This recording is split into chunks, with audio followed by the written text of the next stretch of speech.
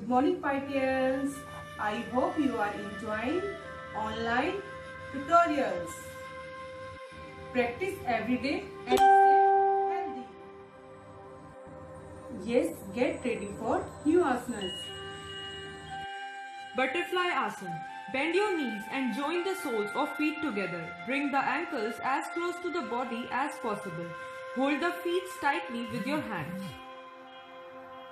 Move the knees downwards, applying elbows as a lever. Slowly swing your knees up and down around 40 to 50 times. It will help to increase the suppleness, strength in the joints and the muscles of thighs and knees. The patients of sciatica and backache avoid this asana. Flex your legs.